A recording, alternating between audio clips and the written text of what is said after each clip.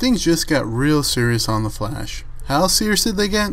Find out my recap and reaction of episode 20 of The Flash, The Trap. The episode opens where the last episode left off, with Team Flash in Dr. Wells' hidden chamber, looking at the future newspaper headline, which is filled with references to the future, including a byline by Iris West Allen.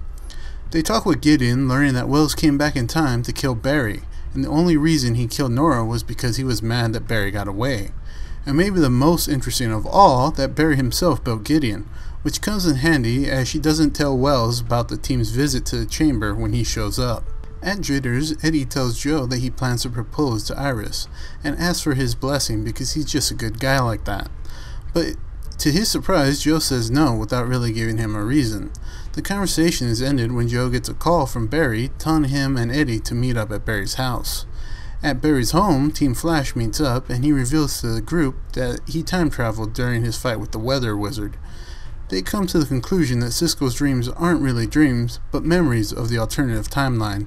They develop lucid dream goggles that will help Cisco remember everything that happened in the alternative timeline. While they're working on some of the details of the project, Dr. Wells enters, but they quickly throw him off with the story about the project being for public safety. He buys in and helps a bit, giving them a way to communicate with the dreamer from outside of the dream. Back at the police department, Captain Singh tells Barry never to get married, as his recent wedding plans have him more distracted than he wants to be. Barry then bumps into Iris, who wants to talk to him about something important, but before she can, Eddie pulls Barry aside and reveals he plans to propose to Iris. He then asks Barry if he can find out why Joe didn't give him his blessing. At Joe's house, Cisco enters his dream and starts narrating back to them what's happening. They learn that Wells is actually Eobard Thawne, and that he didn't plan to kill Nora, he was just there to kill Barry. Cisco tries to wake up, but can't until Wells kills him in his dream, which leaves him pretty scared and pretty shaken up. As they finish up, Wells calls with an emergency for the Flash. There's a fire at a high rise where Captain Singh's fiance works. Inside of the office, the sprinklers aren't working and the whole floor is covered in flames. Barry creates a vacuum by rotating his arms at super speed to suck the air out of the room to kill the fire. His first attempt fails, but Wells gets him to try again. This time he succeeds in putting out the fire and saving everyone. At Star Labs, Wells is waiting for Barry and asks him why he was doubting himself. He also tells them that the only person who can stop Barry from accomplishing his goals is Barry himself. Before he leaves, Barry tells Wells that he couldn't have done any of this without him, and Wells says he feels the same way about Barry. While Team Flash is putting the final touches on their trap for Dr. Wells, Barry gets a text from Iris who wants to talk to him about something. He runs to see her when she gives him a file about the particle accelerator explosion. She thinks it's what caused all the strange events in town lately, including the Burning Man and the Flash himself. He tells her that he'll read it over and talk about it later. Then he leaves. She then has a flashback to when Barry was in a coma. She begs him to wake up, but nothing happens. She touches his hand and gets a little shock. At Star Labs, Caitlin sends Wells to the bunker to see Cisco. He takes off his glasses, then stands up and walks in like he did in the previous reality.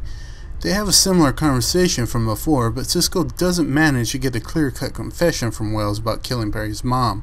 Cisco backs up into the force field, which he reversed to keep any speedsters out. But to everyone's surprise, Wells walks straight through, causing Joe to shoot at Wells to protect Cisco. But Barry still needs to get a confession to save his dad, so he stops two of the three bullets, but the third strikes and kills Wells. Barry is upset about the lost opportunity to free his dad, but just then, Wells turns into Hannibal Bates, and the real Wells calls in saying he figured out their trap and he's been onto them this whole time. He promises Barry that they'll face each other soon. Barry runs to the hidden chamber and sees that the reverse flash suit is gone, and that Wells has been watching them everywhere in their homes, police station, and parts of Star Labs. Barry runs to find Iris, who's on the bridge walking with Eddie, who's about to propose to her. Before he can, Reverse Flash attacks, knocking Eddie down. He's about to kill Iris when the Flash rescues her. The Reverse Flash takes Eddie as Barry tells her to go home. He touches her hand, saying he'll take care of everything. When he does, she gets a little shocked, just like she did that night when Barry was in a coma. She put together that he's the Flash. Reverse Flash reveals the truth about the family relation to Eddie, who's taking all this pretty well actually. In any case, Eddie is his insurance policy. We then get a flashback of Wells watching over Barry as he's in his coma, saying that fate is tricky, as he came here to kill the Flash, but to return to his time he has to create the Flash. He tells Coma Barry that nothing is forgiven, and he promises that he will die. Things really picked up this episode and I really enjoyed it. Some people complain about the whole Eddie and Iris thing. I don't really mind it, as their lives cross with Barry most of the time. Also, they're setting Eddie up as a good guy, and Wells said that he was his insurance policy, so I'm wondering what he has planned for him. The one thing I'm questioning is Reverse Flash's whole plan to come back in time and kill Barry. If he did kill Barry when he was young, then there would be no Flash, which means there can't be a Reverse Flash, so basically he would paradox himself, right? Hopefully we get the answer. I really hope we do. Also hope we get to see Future Barry, because where is Future Barry at? Altogether, another great episode, and you shouldn't stop watching now. Next week, we get Gorilla Grodd, which I was sure was going to be the main Season 2 villain, and he still could be, but either way, I'm super hyped to see him.